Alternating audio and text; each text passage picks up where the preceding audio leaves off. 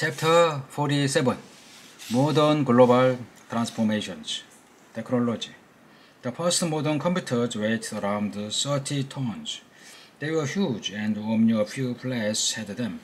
But in the 1940s, these computers changed the way business were run. They took only seconds to do what might have taken days to do by hand.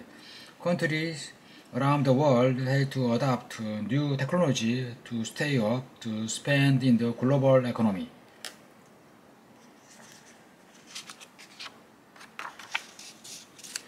Even in the average home, computers became incredibly important. Regular people started getting online in the 1980s.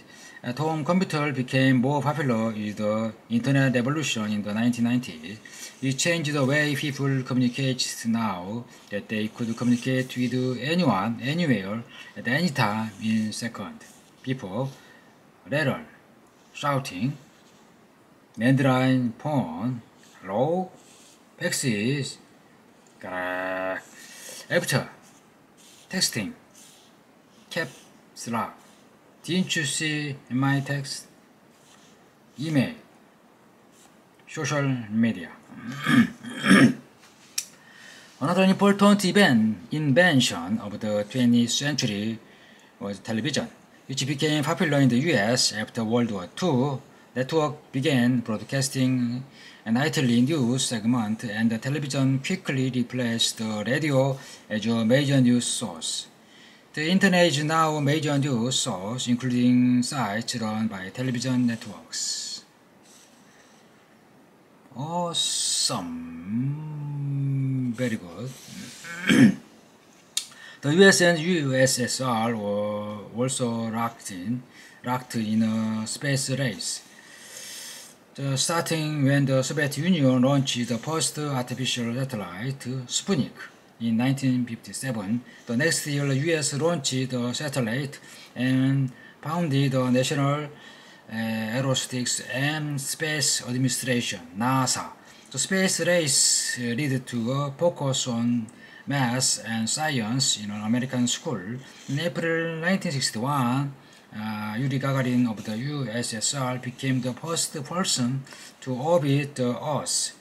The US's Neil Armstrong and Buzz uh, Aldrin were the first people to walk on the moon on July 20, 1969, during the Apollo project. Since then, humans have sent machines into space to explore Mars and other planets. Uh, robots robots have traveled to the sun to comet, the asteroid, and past the edge of the solar system. Mars rover. The environment. Humans made a lot of technological advance in the 20th century, but they also made some pretty big mistakes. Cities grew too fast and too big. Factories and the desire for expensive products like cars and phones led us to neglect something very important, Mother Nature. We've overused land and soil, uh, leading to uh, desertification. We've cleared forest, deforestation, to build houses and factories. Our factories have poured harmful chemicals into our air, creating smoky skyline, acid rain, and climate change. Desertification. Desertification. The depletion of plant and topsoil in semi-arid land, causing them to become desert. Often a byproduct of population growth. Acid rain. Precipitation such as rain or snow which high level of acid forming chemical releasing in the air by the factories and motor vehicles. Deforestation has uh, hit tropical rainforest, where 50% of the world's species of plant and animal live. Rainforests are sometimes called the lungs of the planet. They are crucial to our survival because they remove carbon dioxide from the air and provide us with oxygen to breathe. The greenhouse effect is the warming of the earth due to carbon dioxide buildup in the atmosphere. The greenhouse effect contributes to global warming, which doesn't mean that everywhere is hotter or at the same time. Global warming. The increase in the overall temperature of the Earth's atmosphere due to the greenhouse effect.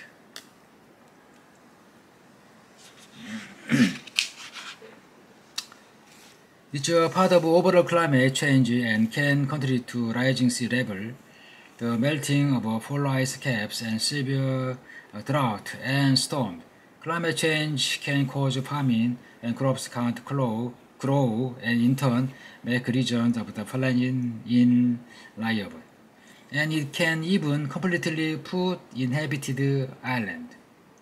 Some people consider climate change to be the most important issue currently facing humans, even bigger than war and political disagreement of history, because it affects the future uh,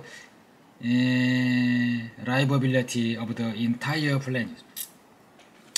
Sustainable, sustainable development is a development that meets our needs while also allowing us to conserve natural resources uh, through recycling, water conservation, and other programs to reduce waste and the dumping of toxic materials.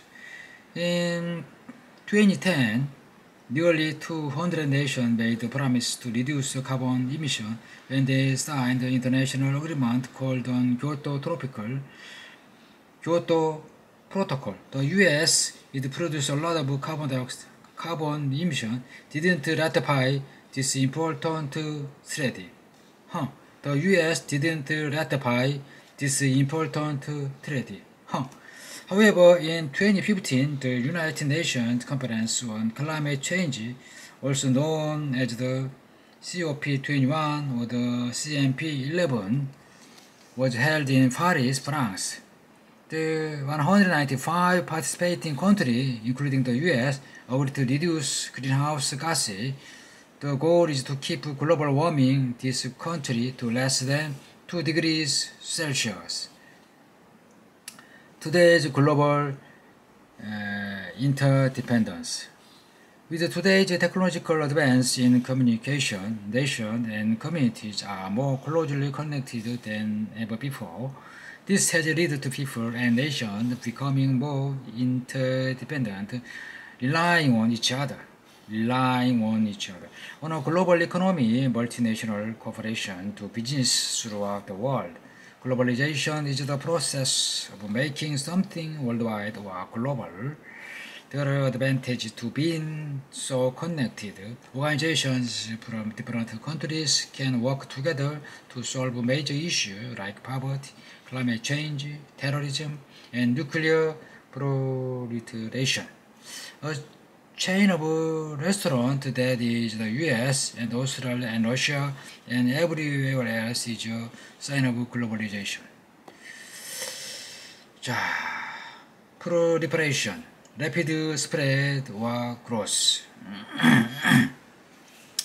Aside from the UN, other organizations have developed in the era of global interdependence such as the World Trade Organization, WTO. WTO had formed in 1995 to increase trade by setting rules for international trade and to address other issues affecting the global economy.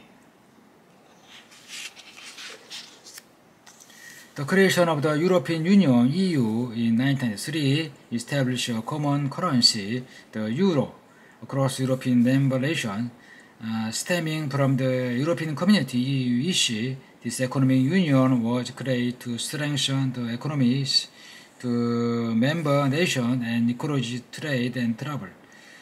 Travel between member nations doesn't require a passport, and a person from Spain, person a person from Spain who want to move to France can work or study there without a visa.